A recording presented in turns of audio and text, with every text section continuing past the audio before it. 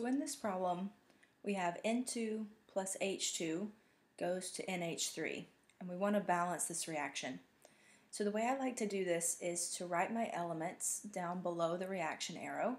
So I have two elements, N and H, in this problem. And then on the left-hand side, I write how many nitrogens do I have in my reactants. I would have two nitrogens.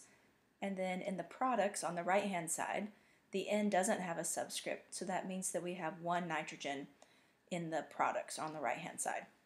Do the same thing with our hydrogens, and we have two hydrogens on the left hand side and three hydrogens on the right hand side. So in order to balance, we can't make a number of the elements smaller. We want to have the number of elements equal on each side and we can't make anything smaller, so we have to only make things bigger. So in order to balance the nitrogen, we need to change one nitrogen on the right into two.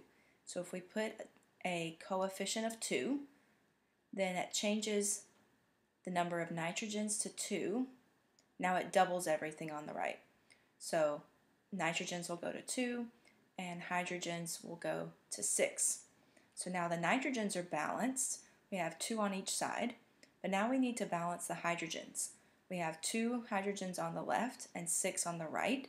So if we put a coefficient of 3, whenever we have a coefficient in front, we always multiply it by the subscript. So 3 times 2 makes 6, and we have a balanced reaction with two nitrogens on each side and six hydrogens on each side.